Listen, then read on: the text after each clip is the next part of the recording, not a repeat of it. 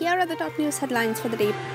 Prime Minister Shri Narendra Modi released the eighth installment of the financial benefit under the Pradhan Mantri Kisan Samman Nidhi PM Kisan scheme. This includes a transfer of more than 19,000 crore to more than 9.5 crore beneficiary farmer families. The fund is transferred directly to the bank accounts of the beneficiaries.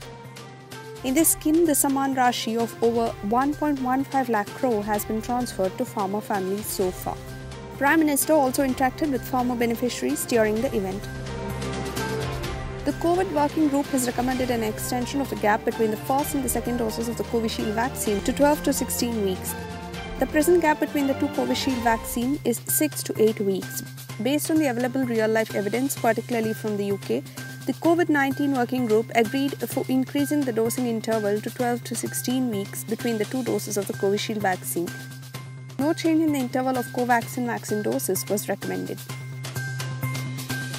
As per a statement given by the Health Ministry of Maharashtra two days ago, more than 2,000 people have been affected by mucormycosis, a fungal infection. 10 people have been succumbed to it, and some patients have even lost their eyesight.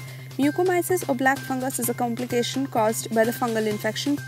People catch mucormycosis by coming in contact with the fungal spores in the environment. It can develop on the skin after the fungus enters the skin through a cut, scrape, burn, or other types of skin trauma.